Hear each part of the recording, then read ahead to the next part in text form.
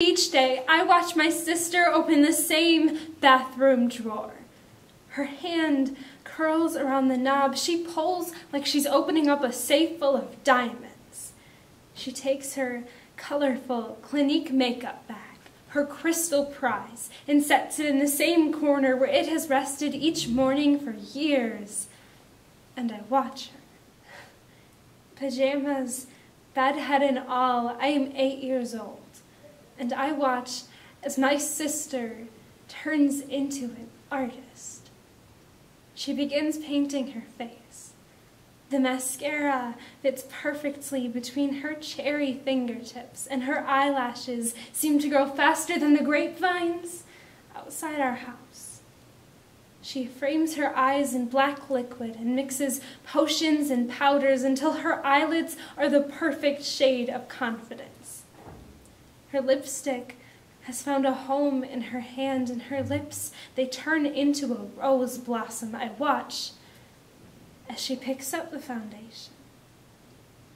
She holds it like gold paints it on with a certain hope in her eyes, like maybe this, this can solve all of my problems. She covers every blemish, every scar. She erases any imperfections as if taking away her individuality will make her one step closer to Barbie because that is what she has been taught at Disney World when she was seven years old and they handed her a wand instead of a sword, instead of letting her choose just because she was a girl. Because as a girl, we have been taught to want to be a princess, always always looking to a man to be our hero, but some of us just want to reach for the sword and save ourselves.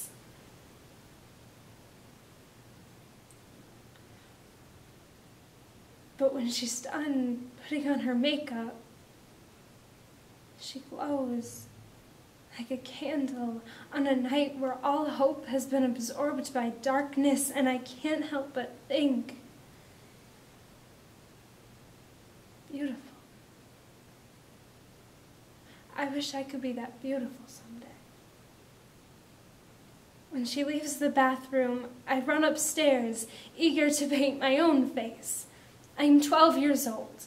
I try to hold the paintbrushes like she does. I try to use graceful strokes, but no matter what I do, the lipstick has not found a home in my hand yet, and the mascara still feels like a lie between my fingertips. But I keep trying.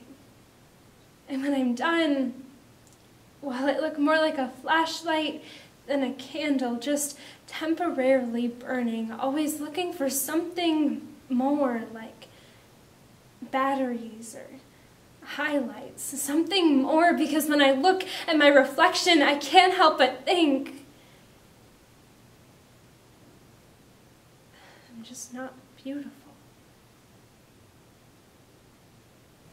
And my dad, he tells me I look pretty, but the boys at school, well, they don't seem to think so, so I keep painting, I keep adding layers, trying to hide my imperfections, trying to change myself so that society will think I am beautiful too. But there is more to this package than I realize. I am 14. The calories in my mouth scare me more than the monsters in my head. The scale is my worst enemy.